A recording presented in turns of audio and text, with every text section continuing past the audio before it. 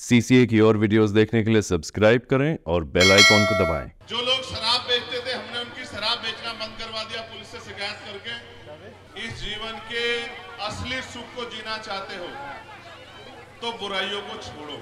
आपके प्रयास से मुझे वहाँ जीत हासिल हुई और उस जीत के कारण आज आपकी जो आवाज़ सड़कों पे थी 10-12 साल से, वो पार्लियामेंट में है। कि राज ऐसा होना चाहिए कि जहाँ कोई छोटा बड़ा ना हो। जहाँ कोई ऊंच नीच ना हो, जहाँ कोई भेदभाव ना हो। आज मैं आपसे कह रहा हूँ, अगर इस देश में इज़्ज़त सम्मान की ज़िंदगी चाहिए और मानवता का राज स्थापित कराना है तो अपने घरों में लिख दो कि हमें बेगम पूरा राज लाना है। बेगम का मतलब होता है, बिना गम का राज, जहाँ किसी की ज़िंदगी में कोई गम, कोई गुंडा आग नहीं उठा के देख पाएगा बच्ची की तरफ़ किसी माँ की तरफ़ किसी बहन की तरफ़ खाल उतार ली जाएगी, अगर कोई गुंडा किसी गरीब की बच्ची की तरफ़ माँ उठा के देखे। क्या तो मेरे काम में कमी बताओ, कोई कमी है मेरे काम में? बताओ, कहानी अड़ता तुम्हारे लिए, कहानी का और क्या चाहिए मुझसे? गरीबी में पैदा होकर गरीबी मरना जुल्म सहना क्योंकि हम इंसान नहीं है क्या? थोड़ी सी ताकत बढ़ा दो मुजफ्फरनगर वालों। लिख के कहता हूँ, खून का कतरा कतरा भी आपके काम आएगा, मेरी बात को आप याद रखें महाराज की। बोले संत श्रीमणि गुरुदास महाराज की बच्चे देवी हम लोगों का किस तरह से क्योंकि आदरणीय बड़े भाई आज़ाद की जिस तरह की व्यवस्था यहाँ पर देखेंगे उसी व्यवस्था का प्रोग्राम गुरु जी कब से आप यहाँ कितने दिनों से तपस्या की है? क्या उपदेश रहा है? एक्चुअली में इस गाँव में, जो वैली गाँव है, आज से एक साल पहले मैं यहाँ उपस्थित हुआ था। तो यहाँ पे जो इस मंदिर के प्रांगण में ना कुछ लोगों को जो ताश पत्ते खेलता देखा और लगभग जो काफ़ी लोग नशे में जो धुते तो मैंने संकल्प लिया, भाई, इस गाँव का मुझे नशा मुक्त कराने का जो निश्चय लेना मुझे। तो मैं जो इधर आया जो 28 जून से तो मैंने तपस्या करनी शुरू कर दी। तो मैंने यहाँ देखा मेरे आसपास जो दारू पी करके जो नालियों में लोग पड़े रहते थे, मैंने लोगों को समझाने का प्रयास किया और धीरे धीरे प्रयास इतना अच्छा हुआ कि लगभग इस गाँव के अंदर जो रविदासी परिवार, जो 130 परिवार बसते हैं यहाँ और लगभग जो 42 परिवार, परिवारों ने बिल्कुल नशा छोड़ कर शराब आदि की सौगंध लेकर के गुरु रविदास जी महाराज जी का सत्संग जो ग्रहण कर लिया। वे सत्संगी परिवार बन चुके। और इसी उपलक्ष्य में जो खुश होकर हमारे जो नवनिर्वाचित सांसद भाई चंद्रशेखर जी भी इस कार्यक्रम में उपस्थित हो रहे हैं। लोगों की जो खुशियाँ बांटने के लिए काफ़ी क्षेत्र के लोग उपस्थित हो रहे हैं और मुझे बड़ी अत्यंत जो खुशी है जो मैंने ये तपस्या की जो चिल्ला किया तो इन लोगों ने ये तपस्या जो सफल करा दी। बयालीस लोग इस गाँव के जो बिल्कुल नशामुक्त हो चुके आज एडवोकेट चंद्रशेखर को सांसद जी को यहाँ बुलाने का क्या मकसद है? उनको ये बुलाने का मकसद है कि वो नगीना से जब से सांसद बने हैं तो कहीं ना कहीं उनके स्वागत के प्रोग्राम लगा रखे हैं। तो इस खुशी में कि आज जो है बहुजन समाज का एक बेटा भाई जो है लोकसभा में पहुँचा है और सबकी आवाज़ उठाते हैं। तो इसलिए उनको यहाँ पर बुलाना चाहिए। महाराज जी के दिशा निर्देश के अनुसार जो है गाँव वालों की इच्छा के अनुसार के यहाँ पे चंद्रशेखर भाई को बुलाने का प्रयास गाँव वालों का सभी का रहा है। और आदरणीय बड़े भाई चंद्रशेखर आज़ाद जी के आदेश अनुसार हम सब लोगों ने यहाँ की व्यवस्था संभाली है और यहाँ के गाँव के लोगों ने। वैली गाँव में ही क्यों सोचा इनका स्वागत करने का? वैली गाँव में इसलिए सोचा क्योंकि यहाँ पे ये बहुत पिछड़ा गाँव था और इसलिए यहाँ पे काफ़ी मतलब पन दस बारह साल से देख रहे थे गुरुजी कि इस गाँव में जो है स्थिति सुधार पे नहीं थी। पर आ, जो नशे के कारण कहीं ना कहीं हमारा जो समाज है वो पिछड़ रहा था बहुत ज़्यादा। तो गुरु रविदास महाराज जी के जो मिशन को सुचारू रूप से चला रहे हैं, गुरु समनदास महाराज जी के मिशन को सुचारू रूप से चला रहे सतीश दास महाराज जी, उन्होंने जो है ये प्रण लिया कि इसमें अगर खड़ी तपस्या किए जाए, इन लोगों के लिए मैं तपस्या करूँ तो कहीं ना कहीं इन लोगों को ये जागरूक होएँगे तपस्या के माध्यम से। इन लोगों को मैं विचारों के माध्यम से जब तपस्या करूँगा तो गुरु रविदास महाराज जी का जो मिशन है, उस मिशन को सतीश दास महाराज जी ने बताया और कहीं ना कहीं वह चालीस परिवारों के समझ में आया, गुरु रविदास महाराज जी का मिशन क्या है और चालीस परिवारों ने प्रण लिया कि हम आज से नशा छोड़ेंगे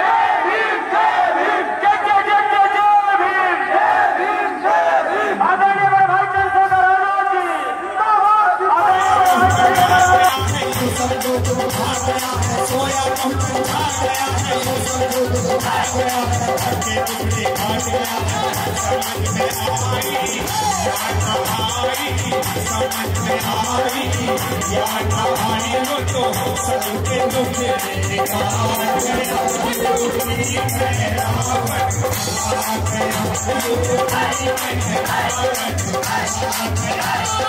आज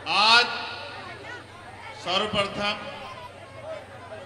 इस महान सत्संग में आप लोगों के आग्रह पे मुझे यहाँ आने का मौका मिला।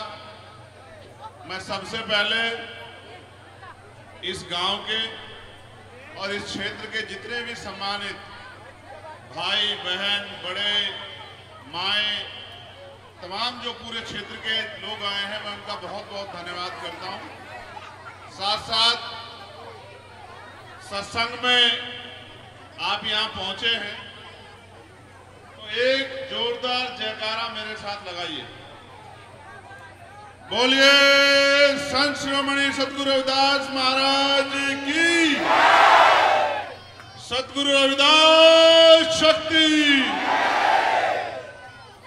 बोलिए सदगुरु समनदास महाराज की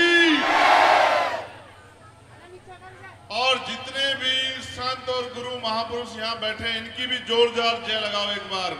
सभी संतों की, सभी गुरुओं की। डॉक्टर बाबा साहब अंबेडकर, मान्यवर काशीराम साहब, मान्यवर दीना भाना वाल्मीकि साहब, और स्पेशली महात्मा सतीश दास जी को मैं बहुत बहुत धन्यवाद देता हूँ और सदगुरु रविदास जी महाराज से प्रार्थना करता हूँ कि उनके संकल्प को पूरा करने की शक्ति सदगुरु महाराज उनको दें। मैं एक नारा गुरुजी सतीश दास जी के लिए भी आपसे उम्मीद करूँगा कि आप उस पर जोरदार जयकारा लगाएँगे। बोलिए गुरु सतीश जी महाराज की। अब मैं आपसे आग्रह करूँगा कि आप मुझे सुनो, बैठ जाओ। पहले बैठने नहीं देता था कोई, अब आप बैठना नहीं चाहते, क्या करें? क्या करें? जब आप लोग बैठने के, सुनने की इज़्ज़त नहीं समझते तो हम क्या करें? हमारा दोस्त भाई। मैं पुनः आग्रह करूँगा ये जो वॉलेंटियर बीच में खड़े व्यवस्थित करो। वॉलेंटियर का मतलब होता है सिपाही, जवान, योद्धा, जिसके कंधों पे जिम्मेदार दिए थे ऐसे अरे गहरे को नहीं बनाते वॉलेंटियर और वॉलेंटियर को की निगाह तेज होनी चाहिए। वॉलेंटियर अपने काम के प्रति जिम्मेदार होना चाहिए, ये उसकी ज़िम्मेदारी। और इतने लोगों की ज़िम्मेदारी है आपके ऊपर और मेरी भी। समझ रहे हो, समझ रहे हो? तो मैं यहाँ मेरे साथ पहुँचे बुकाड़िया जी, हमारे ज़िले के अध्यक्ष जी, भीम आर्मी आज़ाद समाज पार्टी के भाई नीटू जी, भाई दीपक जी, भाई हिमांशु जी, तमाम साथियों का मैं धन्यवाद करता हूँ। और जिस कारण से आज हम लोग यहाँ इकट्ठा हुए, सत्संग से अलावा एक बहुत बड़ी ज़िम्मेदारी गुरुजी ने सतीश दास जी ने अपने कंधों पे उठाई है कि ये क्षेत्र नशा मुक्त हो। इस पे लंबे समय तक हमने काम किया। और जब हमने लंबे समय तक इस पे काम किया, जो लोग शराब बेचते थे, हमने उनकी शराब बेचना बंद करवा दिया पुलिस से शिकायत करके। तो वो लोग जेल चले गए, जेल से बाहर आए। तो जिन लोगों ने शिकायत करवाई तो उनके साथ झगड़ा कर दिया। एक और नई मुसीबत हो गई। तो फिर हमने तय किया कि इसको हम लोग नहीं छुड़वा सकते। ये जो चीज़ है, ये ज़बरदस्ती से नहीं छूटेगी, ये छूटेगी मन से। और मन से सब छूटेगी जब कोई ज्ञानी, जब कोई गुरु, जब कोई संत इनको सही रास्ता दिखाए। और मैं प्रत्यक्ष गवाह हूँ कि स्वामी समनदास जी महाराज जी ने लाखों परिवारों को अंधविश्वास, पाखंडवाद तमाम तरह की कुरीतियों से बाहर निकाला, मैं इसका प्रत्यक्ष प्रमाण हूँ। आज वो हमारे बीच में नहीं है, लेकिन उनके विचार, उनका आशीर्वाद मेरे जैसों पे और मुझ जैसे लाखों लोगों पे है। मेरे आज भी याद है महाराज जी, कोई सत्संग ऐसा नहीं हुआ जहाँ गुरुजी ने मुझे फ़ोन ना करवाया और कहा ना हो कि भाई समय से आ जाना। मैं कहता था मैं उनसे क्या कहूँगा? बड़े हैं वो। मैं कभी कभी केरल होता वो कहते दो दिन बाद ही कि भाई आ जाना। अब मैं समझता कैसे आऊँ। फिर मैं सोचता कि जब उन्होंने आदेश कर दिया तो रास्ते खुद ब खुद बन जाएँगे। कई बार तो ऐसा हुआ, जहाँ से उम्मीद भी नहीं थी आने की, वहाँ से भी मैं सत्संग में पहुँच गया। क्योंकि रात में कोहरा होता था, सर्दियों में सत्संग हो रहे थे कहीं। धुंध होती थी, मैं सोचता था भाई धुंध में कैसे जाएँगे तो ऐसी सारी धुंध ही छट जाती थी। कहते हैं ना, जिन पे संतों गुरुओं का आशीर्वाद होता है, उनके रास्ते आसान हो जाते हैं। अब आपके क्षेत्र में सत्संग हो रहा है। और इस उम्मीद से हो रहा है कि बहुत सारे घर तो उन्होंने अंधविश्वास, पाखंडवाद और नशे से मुक्ति प्राप्त कर लिए, बहुत सारे बाकी। मैं उनकी बात को, अपनी बात के साथ जोड़ते हुए आपसे अपील करता हूँ कि वास्तविकता में अगर इस जीवन के असली सुख को जीना चाहते हो तो बुराइयों को छोड़ो। गुरुजी के रास्ते पे चलो। सतगुरु महाराज के रास्ते पे आगे बढ़ो। और जो उनका सपना था, मानवता कल्याण का, उसको जीवन का सपना मानो। और मैं तो लगातार पार्लियामेंट में भी मैंने कहा, आपने सुना होगा, मैंने पार्लियामेंट में ये बात कही। जब मैंने अपनी बात को रखना शुरू किया तो मैंने कहा कि 600 साल पहले भारत को नहीं, पूरी दुनिया को अगर सबसे अच्छा लोकतंत्र का जो सबसे अच्छा दर्शन है, अगर किसी ने दिया तो वो हमारे कुलगुरु सतगुरु रविदास जी महाराज ने दिया। हम ऐसे गुरु की संतान हैं।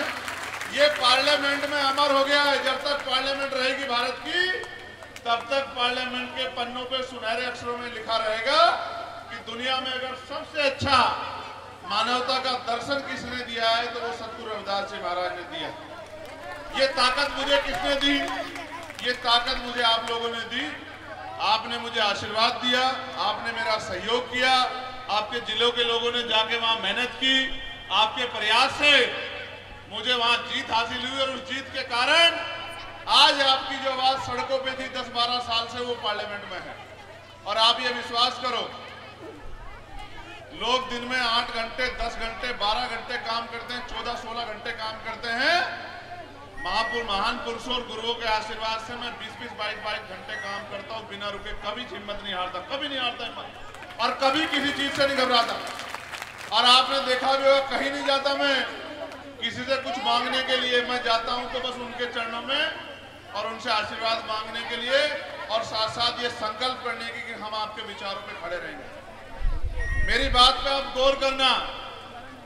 600 साल पहले सदगुरु जी ने दर्शन दिया। बेगमपुरा राज का कौन सा राज का? ज़ोर से बताओ कौन सा राज? इस बात को कहने से पहले मैं डॉक्टर बाबा साहब अंबेडकर की इस बात को आपको याद दिलाना चाहता हूँ, क्योंकि ये नई बात है। बहुत दिन पुरानी बात नहीं है। एक बार बाबा साहब अंबेडकर ने अपने अनुयायियों से कहा कि जाओ अपने घर की दीवारों पर लिख दो कि हम इस देश के शासक बनेंगे। लोग हंसने लगे कि बाबा साहब कैसी बात कर रहे हैं। घर की दीवारों पर लिख दो, हमारे पास तो घर ही नहीं है। हम पे तो रहने की जगह ही नहीं तो कौन सी दीवारों पर लिखे? तो किसी ने बात बाबा साहब तक भी पहुंचाई कि आपने जो कल उद्देश्य वो दिया है विचार, उस पर लोग चिंता ज़ाहिर कर रहे हैं। उन्होंने कहा, क्या? कि लोग कह रहे हैं कि हम पे तो घर ही नहीं। तो कौन सी दीवारों पे लिखे? तो बाबा साहब अंबेडकर ने कहा कि भारतीय संविधान में मैंने तुम्हें बराबर के अधिकार दे दिए हैं। तुम पे घर भी होगा, तुम पे बंगले भी होंगे, तुम पे कोठिया भी होंगी, तुम पे गाड़ी, घोड़े, तमाम साधन संसाधन होंगे। वो दिन दूर नहीं, जिस दिन तुम लोग इस देश में शासक बनोगे। लेकिन अब फिर बात सुनो सतगुरु रविदास जी महाराज। उन्होंने 600 साल पहले कहा, ऐसा चाहूँ राज में जहाँ मिले सबन्नु अन्न और छोट बड़े सब संबसे रविदास रहे पक्ष जब ये बात 600 साल पहले उन्होंने कही, लोगों ने उनकी मज़ाक बनाई कि बताओ कैसी बात कर रहे हैं रविदास जी महाराज? राजतंत्र है, राजा महाराजा राज कर रहे हैं, ऐसा कैसे हो सकता है?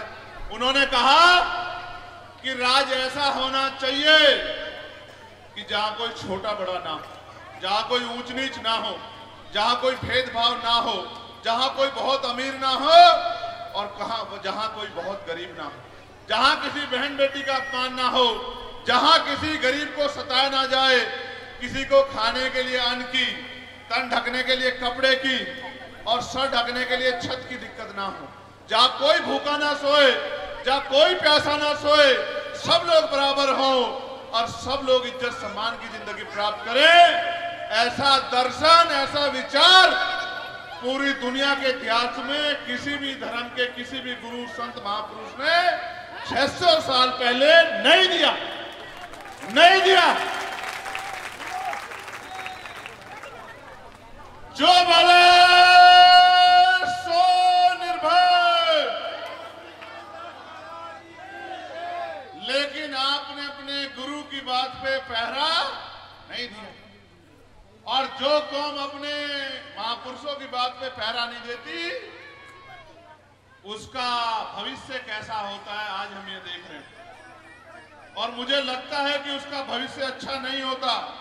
अगर भविष्य अच्छा होता तो आज भी इस देश में लाखों करोड़ों लोग रोटी, कपड़ा, मकान के मोहताज नहीं होते। अगर भविष्य अच्छा होता ये आपके सामने है और मैं आज आपसे कह रहा हूँ, जितना जल्दी हो, अपने घरों की दीवारों पे लिख दो कि हमें बेगमपुरा राज लाना है। क्या कह रहा हूँ तुमसे? पहले सुनो मेरी बात को। जैसे बाबा साहब ने लिखने कहा था, तब लोगों ने मज़ाक बनाया। क्या कहा गुरुजी? कि गुरुजी कैसी बातें कर रहे हैं? बाबा साहब कैसी बातें कर रहे हैं? हम कहाँ शासक बन जाएँगे? उन्होंने कहा, मैंने रानी का पेट चीर दिया है। वोट का अधिकार आपको दे दिया, इस वोट के ज़रिए राजा बनोगे। जो राजा महाराजा है, वो भी आपकी गलियों में आपके पैर छूने आएँगे। आपका पैर पकड़ के कहेंगे, चुनाव के बीच के आशीर्वाद दे दो, चाची। ताई आशीर्वाद दे दो, दादा आशीर्वाद दे दो, भाई आशीर्वाद दे दो। हम भी आपके अपने हैं। जो राजा महाराजा खुद को कहते हैं, वो भी आएँगे। ऐसा अधिकार बाबा साहब दे के गए। आज मैं आपसे कह रहा हूँ, अगर इस देश में इज़्ज़त सम्मान की ज़िंदगी चाहिए और मानवता का राज स्थापित कराना है तो अपने घरों में लिख दो कि हमें बेगम पूरा राज लाना है। बेगम का मतलब होता है, बिना गम का राज, जहाँ किसी की ज़िंदगी में कोई गम। अभी मैं ये कहना नहीं चाहिए, लेकिन अपने दिल की पीड़ा बता रहा हूँ। यहीं बराबर में आते हुए मुझे एक भंते जी मिले, हमारे साथी वो किसी गाँव से गुजर रहे थे, पंचशील का झंडा लगाया था। तो कुछ मूर्ख लोगों ने रोक के झंडा पाड़ दिया और मारपीट की उनके साथ हाथ तोड़ दिया उनको और पुलिस बेचारी सत्ता के आगे मजबूर है। तो उन, और डॉक्टर भी शराब पिए बैठा था, उन्होंने जैसा बताया। और डॉक्टर ने भी कह दिया, कुछ नहीं हुआ, कुछ नहीं हुआ, दूसरे हॉस्पिटल गए तो प्लस्तर कराया बेचारों ने यहाँ। तो जब वो बेचारे जाते हैं तो ये समझाते हैं सबको कि भाई, भगवान बुद्ध के रास्ते पे चलो, अगर आप पे कोई जुल्म होगा तो पूरी दुनिया में रहने वाली बहुत कंट्री आपके लिए आवाज़ उठाएँगी। मैंने बनते जी से पूछा, किसने आवाज़ उठाई बनते जी?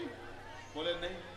तो मैंने कहा, इस बात को समझ लो कि जिनका राज होता है, उन्हीं का धर्म होता है। पहले राजकाज लाओ, जिस दिन राजकाज आ जाएगा, उस दिन आपके धर्म का झंडा भी बुलंद हो जाएगा। पूरी दुनिया में मेरी बात को आप याद रखें। और जिनका राजकाज नहीं होता, आप अपने दिल पे गवाही रख के बताना, सब पढ़े लिखे जिम्मेदार लोग बैठे हैं। और इधर भी पढ़े लिखे लोग बैठे हैं। जिन गाँव में सदगुरु रविदास जी महाराज की शोभा यात्रा नहीं निकलती है, अगर वो निकालने के लिए जाते हैं कहने के लिए कि भाई हम निकालना चाहते तो क्या कहती है पुलिस? क्या कहती है बताओ? हम बताते क्या कहते कहते नई परंपरा नहीं लागू होगी, जिस गाँव में नहीं निकलती थी, उस गाँव में नहीं निकलेगी। बताओ, सच है या नहीं है बताओ? तो यानी कि जिनका राज होता है, उन्हीं की शोभा यात्रा भी निकलती।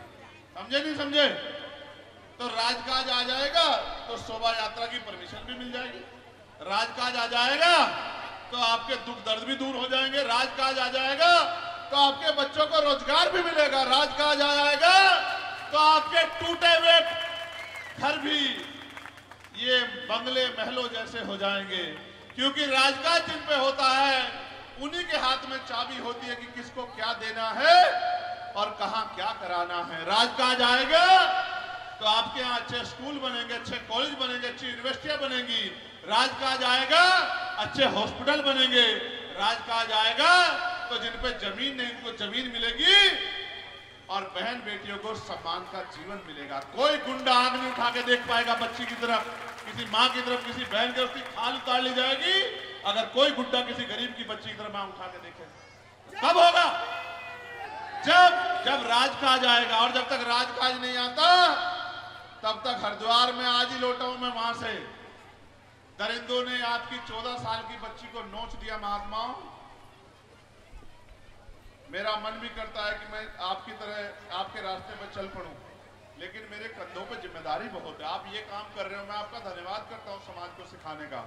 लेकिन मैं समाज को महापुरुषों के रास्ते में ले जाकर पैरों पे खड़े करने का काम कर रहा हूँ और मेरा विश्वास है कि आने वाले दस साल में इस देश में ऐसा ऐतिहासिक परिवर्तन होगा कि आज जिनको जुल्म करके सताया जा रहा है, वो इस देश की बड़ी बड़ी कुर्सियों पर बैठे होंगे और उनको इज़्ज़त सम्मान की ज़िंदगी मिलेगी। राजकाज आएगा तो कुटीर उद्योग लेंगे महिलाओं को घरों में रोज़गार मिलेगा।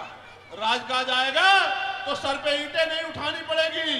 राजकाज आएगा तो कोलू पे, भट्टों पे काम नहीं करना पड़ेगा। किसी बहन बेटी का अपमान नहीं होगा। आपको याद होगा इन बागपत में एक महीना नहीं बीता, एक साल नहीं बीता ये जानते लोग, जानते हो नहीं जानते हो दर्द को, कि जब एक बच्ची कोहलू पे काम करने गई थी, उसको कोहलू में झोंक दिया था गुंडों ने। याद है नहीं याद है आप लोगों को? राजकाज होगा तो इज़्ज़त की ज़िंदगी होगी। राजकाज लोकतंत्र में वोट से आता है। आपने सबको ताकत देकर राजकाज दिया। जिन्होंने राजकाज में जो लोग बैठे, वो लोग अपने घरों में पड़ के सो गए। आज आपका बेटा, आज आपका भाई हिम्मत करके लड़ रहा है। बताओ, मदद करोगे नहीं करोगे, बताओ। क्या तो मेरे काम में कमी, बताओ, कोई कमी है मेरे काम में? बताओ, कहानी अड़ता तुम्हारे लिए, कहानी का और क्या चाहिए मुझसे? हर लड़ाई लड़ता हूँ, दिल्ली का टूटा हुआ गुरु घरों, बताओ छियासठ दिन जेल काटी नहीं काटी, आप बताओ। बताओ, लाठिया खाई नहीं खाई पुलिस की? बताओ, सहारनपुर में जब जुल्म और सोलह महीने जेल काटी नहीं काटी, बताओ, मेरी अपनी लड़ाई थी क्या? बताओ मेरी अपनी लड़ाई थी क्या?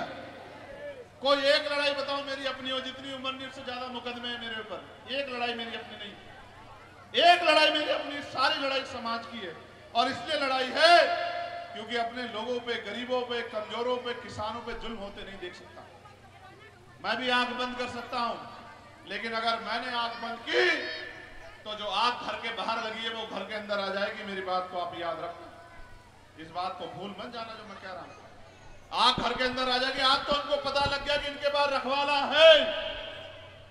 अगर उनको एहसास हो जाएगा इन पर रखवाला नहीं है तो थाने, कचहरियों में तुम्हारी सुनवाई नहीं होगी, मेरी बात को आप याद रखो। आज तो उनको एहसास है। अभी यहाँ बराबर है मुजफ्फरनगर में। बताओ, घुड़चड़ी रोक के बेज्जत किया नहीं कि आप लोग बताओ? बताओ भाई, कौन सा गाँव है वो बुकाड़े जी? मडकरीपुर में बताओ, गुंडागर्दी किया नहीं की बताओ आपके साथ? बताओ मेरठ के रसूलपुर में गुंडागर्दी किया नहीं की? तब कह रहा हूँ, ये तब है जब उनको पता है कि इनका लड़ने वाला है, इनका लड़ाकू। मगर फिर कह रहा हूँ, थोड़ी सी ताकत बढ़ा दो मुजफ्फरनगर वालों। लिख के कहता हूँ, खून का कतरा कतरा भी आपके काम आएगा, मेरी बात को आप याद रखें।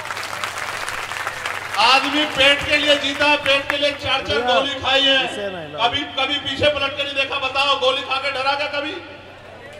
आदमी सब पेट के लिए करता है। ये पेट भी आपका सब कुछ आपका आपके सहारे हूँ। लेकिन वज़न देख कह रहा हूँ मेरी माए मैंने बैठी है सत्संग में खड़े होकर झूठ नहीं बोलता मैं। इतिहास गवाह है कि मैंने झूठ नहीं बोला। जब तक मेरे शरीर में लहू का आखिरी कतरा है आखिरी सांस है मैं आपके आँसू पहुँचने के लिए लड़ता रहूँगा मेरी बात को आप याद रखना। अब फिर कह रहा हूँ, ये माए बैठी हैं। कब तक इस देश में जुल्म, जाति सहती रहोगी? क्या गरीबी में पैदा होकर, गरीबी में मरने के लिए पैदा हुई हो दुनिया में? आप बताओ, कितनी महिलाओं ने हवाई जहाज़ में सफ़र किया, बताओ। कितनी ने हेलीकॉप्टर में सफ़र किया, बताओ। कितनी ने रेलवे के एसी के डब्बे में सफ़र किया, तुम बताओ। हाथ उठाओ जिसने हवाई जहाज़ में सफ़र किया बताओ जिन्होंने हेलीकॉप्टर में सफ़र किया। क्या है तुम्हारी ज़िंदगी? गरीबी में पैदा होकर, गरीबी में मरना जुल्म सहना। क्योंकि हम इंसान नहीं है क्या? क्या हमें पैदा करने वाली माँ को दर्द नहीं होता जब हमें मारा जाता है? जब हमारी बच्चों को बेचत किया जाता क्या हमें तकलीफ़ नहीं होती, क्या हम इज़्ज़त नहीं रखते हैं? सब रखते हैं हम। लेकिन क्योंकि अभी आपको अपने प्राय का एहसास नहीं है, इसलिए जुल्म हो रहा है। जिस दिन आप मेरे साथ खड़े हो गए गुंडागर्दी करने वालों के पाँव गाँव से लेके दिल्ली तक ना काप जाए तो मेरा नाम चंद्रशेखर आज़ाद नहीं मेरी बात को आप याद जिस दिन आप मेरे साथ खड़े हो गए प्रधान से लेके प्रधानमंत्री तक जिसकी बनने की इच्छा होगी, वो आपको सुबह आके नमस्कार क्या करेगा, जय भीम क्या करेगा, मेरी बात को आप याद रखना, गाँव से लेकर वहाँ जिस दिन आपने एहसास करा दिया कि हम अपने भाई के साथ खड़े हैं। और मैं महाराज जी का धन्यवाद करता हूँ। गद और घोड़ों में बहुत कम फ़र्क होता है। नाल ठुकवाने से गधे घोड़े नहीं हो जाते। घोड़े घोड़े होते हैं, गधे गधे होते हैं। मैं महाराज जी का उनसे आग्रह करूँगा कि अब वो इस तपस्या को त्याग दें। आपके पैरों में सूजन आ गई। मैंने महात्मा सतीश दास जी के मुँह से जो बात आज तक सुनी है, मैं आपको सच कह रहा हूँ, वो सारी बात सच साबित हुई है।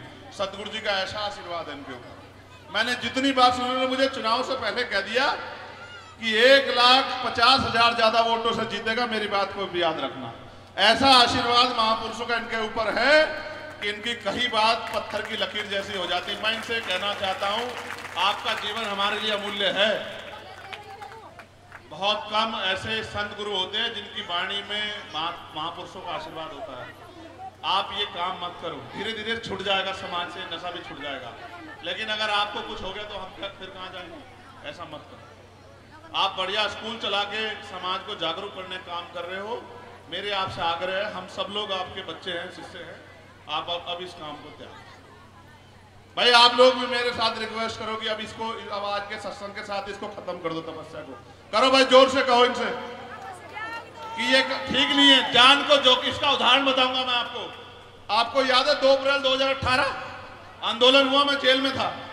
तो मैंने जब जुल्म हुआ तो हम क्या करें? दर्द तकलीफ़ हुई, जेल से कुछ नहीं हमने, मैंने भूख हड़ताल शुरू कर दी। आठ दिन हो गए मुझे भूखे प्यासे रहते। मेरे बड़े भाई साहब आए, मुझसे कहने लगे, भाई चंद्रशेखर, मैंने, मैं तो सोचता था तुम बहुत विद्वान व्यक्ति हो, तुम तो बड़े मूर्ख आदमी हो। तो मैंने कहा, कैसे जी? बोले कि, जो काम सरकार चाहती कि आदमी मर जाए और तुम खुद ही भूखे प्यासे रह के मरना चाह रहे हो तो जब अगर तुम्हें कोई मारेगा तो किसी पे दोष आएगा, किसी को सजा होगी, और तुम खुद ही मर जाओ तो उनका तो कांटा भी निकल जाए, उनका काम आसान हो जाए तो तुमसे बड़ा मूर्ख कौन होगा? तो हमने कहा, क्या कहने का मतलब है? कि ज़िंदा रह के लड़ सकते हो। भूखे प्यासे रह के मर के नहीं लड़ सकते। इस देश में किसने भूखे प्यासे रह के कोई लड़ाई नहीं जीती है, खा पी के लड़ाई जीती है? तो हमने कहा, फिर कहे, तोरी लाए, घर से रोटी खाओ, बढ़िया, और जल्दी जेल से बाहर आ जाओ, फिर आके समाज की लड़ाई लड़ो। इसलिए महाराज जी कह रहा हूँ आप स्वस्थ रहोगे तो हम सबके काम आ जाओगे। मैं इसलिए आपसे आग्रह कर रहा हूँ और मैं अपनी माओ बहनों से भी अपील करता हूँ। मुझे काम है मेरी मजबूरियाँ हैं कुछ। मैं अकेला आदमी हूँ जिसकी सब सुनते हैं। और किसी की सुनते ही नहीं है। देखो मैं ही डांटता हूँ ना सुनते। हैं ये मोनिस भी मेरी सुनता है। ये बबलू भाई भी मेरी सुनते हैं। ये बागिश भी मेरी सुनता है। और टिकम भी और ये सब हमारे लोग हमारे ही सुनते हैं। किसी और ये मनीष भी। कोई किसी की नहीं सुनता सिर्फ़ मेरी सुनते हैं। और ये अंकित भी हमारी सुनता है। तो इन्हें ये इनको आदत होगी अनुराग को मेरे सुनने की, डांट भी मुझसे खाते हैं। तो इसलिए और किसी की सुनते नहीं, मगर मैं इनसे आग्रह कर रहा हूँ कि अपने गुरुओं की सुना उनके पास जाके बैठा करो। उन पर बहुत अनुभव है। उनके पास ज्ञान है। उन्होंने अपना जीवन समाज के नाम समर्पित कर दिया है। ना उनको कोई सुख सुविधा है, कुछ नहीं है, वो हमारे लिए जी रहे हैं। हमें उनके पास जाना चाहिए। उनसे अच्छी बातें सीखनी चाहिए। उनसे किसी, कोई विषय है, उन पर चर्चा करनी चाहिए। और मैं आपसे भी कह रहा हूँ, हाथ जोड़ के। भाई, रास्ता देना देना। मैं वॉलेंटियर साथियों का बहुत बहुत धन्यवाद करूँगा सभी का। इसलिए धन्यवाद करूँगा, क्योंकि उनकी वजह से ये आयोजन झुकेंगे झुकेंगे बागपत के लोग पूछ पकड़ के खड़े रहो, किसी की तो झुकोगे और क्या होगा? बागपत तो ऐतिहासिक सरजमी है। बागपत के लोग तो मज़बूत लोग हैं। फिर क्यों झुक रहे हो बच्चों में? क्रांति पैदा करो। और नहीं कर सकते तो हमें कहो, देखो हम करके दिखाएँगे। क्यों चिंता कर रहे हो? बागपत हमसे दूर थोड़ा ही है। नहीं होगा न्याय तो बताना। नहीं होगी रिपोर्ट और नहीं होगी कार्रवाई तो हमें बताना। वही डेरा डाल देंगे बागपत में आके। हमसे दिल्ली दूर थोड़ा है क्यों घबरा रहे मैं धन्यवाद करूँगा। हमारी वॉलेंटियर बहनें जो हैं, बहन निशा, बहन कोमल, बहन कशिश, बहन छोटी, बहन अमृता, बहन सोनम, मनीषा, रोहिणी रितु शिवानी, चंदा, टीना, दिव्या, निशा, राधिका, रोनक, परमीला, कविता। और निशा दो हैं, इसलिए निशा के आगे इन्होंने दो तीन लिखा हुआ तीन है? तीन होगी। अच्छा शुरू में भी निशा ही। तो निशा एक, दो, तीन। ठीक है? तीनों बहनों को धन्यवाद। ये जो हमारे युवा हैं वॉलंटियर फोर्स में धर्मेंद्र जी, सचिन भाई, सूरज भाई, बादल भाई, सतनाम जी, सोनू भाई, रोहन, धोनी, अंकुर, सचिन मौर्य, मोनू विशाल रवि, भारत प्रताप, आकाश जी, रितिन, विकास, शुभम, प्रदीप, कौशिक कौशिक, शशि प्रवीण, और जो इस गाँव से बाहर के लोग व्यवस्था में लगे नवीन टिकम्बोध रवि प्रकाश श्रवण जाटव, कमलकांत, सरपंच सम्राट, दीपक गौतम, पवन गौतम, विक्रांत कुमार, पुरु कुमार, सावन बोध, राजन, और हमारे भीम आर्मी के जिलाध्यक्ष और आज़ाद समाज पार्टी के हमारे जिलाध्यक्ष, इन सबका इसलिए धन्यवाद। आपको याद होगा, हाथरस में एक सत्संग में भगदड़ मची और बहुत लोगों की जान गई। अगर व्यवस्था नहीं होगी तो कोई भी घटना घट सकती है, इसलिए वॉलेंटियरों की ज़िम्मेदारी बहुत इंपॉर्टेंट है। और वॉलेंटियरों की ज़िम्मेदारी अगर वॉलेंटियर नहीं समझेगा तो कोई भी घटना हो सकती है, इसका भी ध्यान हमें रखना है। लेकिन मैं आपसे हाथ जोड़ के ये भी कहूँगा कि अपने महान पुरुषों के सत्संग में जाया करो। इधर उधर मत जाया करो, फिर ये मौत भी आ जाती है। समझ रहे हो समझ रहे हो? ये आ जाती है बिना बुलाए। ठीक है? गुरुओं के विचारों में सब कुछ है। शरीर तो एक ना एक दिन त्याग करके पूरा होना। विचारों में, महापुरुषों के विचारों पे चलो। ठीक है? और जो बहनें पढ़ रही है, पढ़ाई करो। हम मेहनत कर रहे हैं। सतगुरु जी के आशीर्वाद से आगे बढ़ेंगे, फिर नौकरी देंगे आप लोगों को, चिंता मत करो। अच्छे से पढ़ाई करो, चिंता मत करो, घबराओ मत। और जो नौजवान हमारे पढ़ाई कर रहे हैं, उनसे भी कह रहा हूँ बहुत दूर नहीं है लखनऊ। तीन साल की बात है, आप याद रखना, तीन साल में हम भी एडी चोटी का जोड़ लगा देंगे गली गली घूमेंगे। आप मन पक्का रखना, तीन साल बाद इतनी ताकत बनेगी कि रोज़गार के लिए हाथ नहीं फैलाना पड़ेगा। मेरा वादा इस बात को आप लिख लो और ये जिंदाबाद के साथ साथ मेहनत भी करो, और मैं महात्मा जी से और सभी गुरुओं से ये अपील करूँगा कि आप मुझे जाने की इजाज़त दे, मेरे पास बहुत सारे और मैं सदगुरु महाराज से ये प्रार्थना करूँगा कि आपको सदगुरु सदगुरु जी दीर्घायु करें और आपका आशीर्वाद समाज के नहीं करें। वॉलेंटियर अपनी अपनी ज़िम्मेदारी संभाल लें। भाई, एक जानकारी मुझे आपको देनी। कुछ लोगों को गलत फहमी है। वो कहते हैं, भाई, आपने चमार रेजिमेंट की मांग क्यों कर दी? ऐसे तो जातियों की रेजिमेंट बन जाएगी, ये हो जाएगा। तो मैंने उनको सिर्फ़ मुझे बताना इस मंच के माध्यम से कि चमार रेजिमेंट इतिहास पढ़ो भाई। इस देश में सबसे पुरानी रेजिमेंट में से एक रेजिमेंट है चमार और ये 1942 में बनी है। 40 से 42 के बीच में और 46 में उसको खत्म किया गया वो बहुत बहादुर रेजिमेंट थी, उसका इतिहास पढ़ो। मैं तो सिर्फ़ उसको बहाल करने की मांग कर रहा हूँ। मैं सिर्फ़ ये चाहता हूँ कि उस रेजिमेंट को बहाल करके हमारे नौजवानों को देश की सेवा करने का मौका दिया जाए, हम बताएँगे कि हमसे ईमानदार देश के लिए हमसे बहादुर कोई नहीं। इसलिए मैंने मांग की है, हिस्ट्री पढ़ लो। मैं कोई हवाई मांग नहीं कर रहा हूँ, मैं ऐतिहासिक मांग कर रहा हूँ। सरकार कहती है कि हम अंग्रेज़ों की नीतियों के खिलाफ है, उन्होंने अभी आईपीसी सीआरपीसी एविडेंस को बदल दिया। अंग्रेज़ों ने वो रेजिमेंट क्यों खत्म की थी, ये भी पढ़ लो। इसलिए खत्म की थी क्योंकि उन्होंने मना कर दिया था आज़ाद हिंद फौज के खिलाफ लड़ने से। इसलिए मैं आपसे आग्रह करूँगा, आप भी पढ़ा करो, कोई सवाल करे, उसको जवाब दिया करो। अपना इतिहास पढ़ो, इतिहास पढ़ोगे, सब समझ आ जाएगा। समझे? लूंजे लंगड़े लोग नहीं है हम लोग। हमारा इतिहास है, हम अपने पैरों पर खड़े बहुत लंबे समय से। वो अलग बात है कि हम पिट छिट के इतना परेशान होकर जुल्म सह के भी हमने हमेशा देश को प्रायोरिटी में रखा। मैं आपका धन्यवाद दूँगा सब लोगों का। और महाराज जी का, और एक एक महाराज जी मैं ये भी बता देना चाहता हूँ, यहाँ की कमेटी ने वो उसको अपमान ना समझे। उन्होंने मुझे एक मुकुट दिया था। भाई, मैं मुकुट पहन के क्या करूँगा कोई मैं राजा महाराजा थोड़ा ही। मैं आपका सम्मान करता हूँ, लेकिन वो मुकुट महापुरुषों के लिए और महापुरुषों की सेवा में होना चाहिए। मैं तो संघर्षशील आदमी हूँ। मेरा काम मुकुट पहन के राजा बनना नहीं, मेरा काम तो आपकी सेवा करना है। मुझे मेरा काम करने दो। मुझे फ़ोटो वोटो से फुर्सत दिया करो थोड़ी सी। अगर फ़ोटो से फुर्सत दोगे तो मैं ज़्यादा काम करके दिखाऊँगा। तुम मेरा बहुत सारा समय फ़ोटो में ले जाते हो। यही समय है। ये काम करने तो देखो दस साल कितने अच्छे हो जाएँगे। और देखो पुलिस के लिए भी हम सोच रहे हैं, इनकी आठ घंटे की ड्यूटी करा के रहेंगे। मेरी बात को याद रखना, हम ही कराएँगे। और कोई नहीं करा सकता, और तो सबको काम लेना है। और आपकी वेतन विसंगतियाँ भी दूर करेंगे। और बॉर्डर स्कीम भी आपकी खत्म करेंगे। और सप्ताह में एक दिन छुट्टी भी हम ही आपको दिलाएँगे। मेरी बात को याद रखना, इस बात को आप लिख लेना। मैंने ये मामला पार्लियामेंट में उठाया, वो कह रहे स्टेट इशू है। मैंने कहा कोई बात नहीं। अगली बार और तैयारी करके उठाऊँगा कि स्टेट इशू पे कैसे बोलते ये भी कर दूँगा काम। लेकिन मैं आपको भी कह रहा हूँ, जब कोई गरीब आपके दरवाजे आया करे, वो आपको भगवान मान के आता है। आप भी न्याय करने की कोशिश क्या करें। उसको एहसास होना चाहिए कि आप जिस उम्मीद लेके आपके पास आए, आप उस पर खरे उतर रहे हो पुणे में आपका धन्यवाद। रास्ता बनाओ भाई। रास्ता बनाओ। चलो हटाओ रास्ता बनाओ। रास्ता, जी मैम।